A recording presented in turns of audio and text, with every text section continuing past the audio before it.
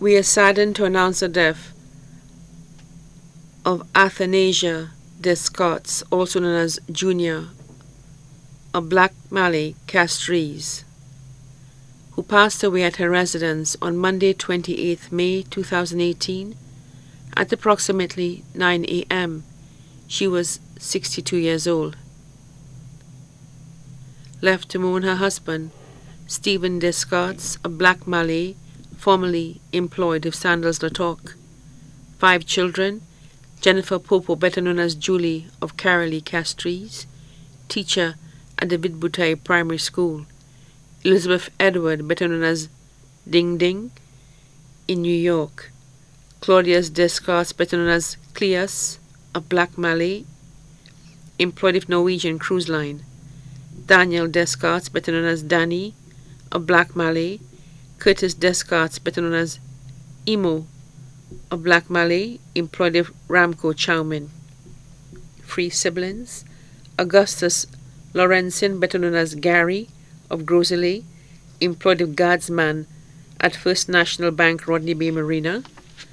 Victor Lawrenson, better known as Christo, in Masque, employed with Windjammer. Imelda Gabriel, better known as Getina, in La Panse, employed with Ramco Chowman.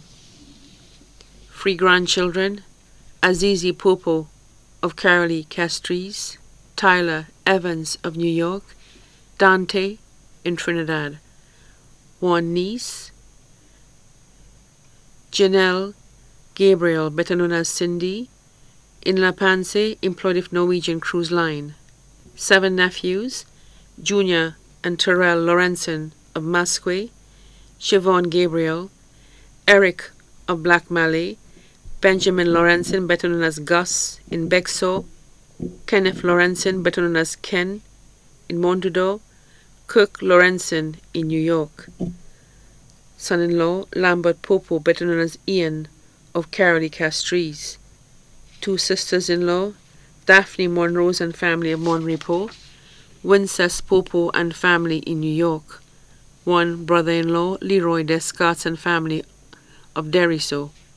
Extended family, her aunt Clotilda Darcy and family of Bardini, the Edward family of Castries, the Snack family of Maynard Hill Castries, best friend, Gwendolyn Snack, a black Mallet who resides in Vieux close friends, Deborah Homan, Anne Fraser, Shirley Moise.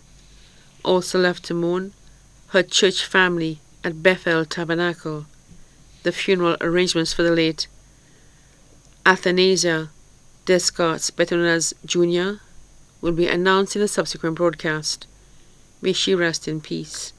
Her body now lies at Rambali's funeral parlor on Calvary Road, Castries.